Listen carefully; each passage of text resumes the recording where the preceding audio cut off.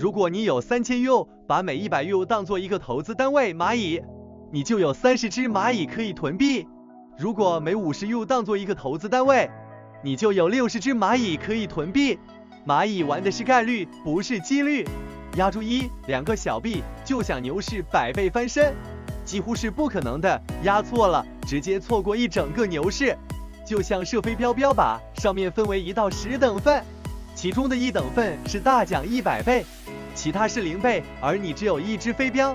获得翻倍数的几率是百分之十，零倍的几率百分之九十，而币圈有上千个币，换成概率的玩法是标靶分别五个零倍，五个二十倍，但你有五只飞镖，五只全中一百倍，每只飞镖可获得翻倍的几率是百分之五十五次，零倍的几率降低为百分之三，而二十倍里还有翻一百倍机会的币。蚂蚁囤币的目标是让所有的蚂蚁去翻倍。所以必须好好做功课，去增加自己所有蚂蚁翻倍的概率，别让标靶有小于一倍的存在。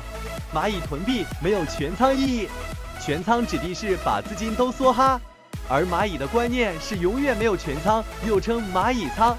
有人一只蚂蚁仓十 U，有人一百 U，大佬一千 U，这样的蚂蚁仓，少几场交际，省一个大餐，少买一个包。随着自己想要和时间推进。一直永续都有蚂蚁仓可以产出，永远没有全仓。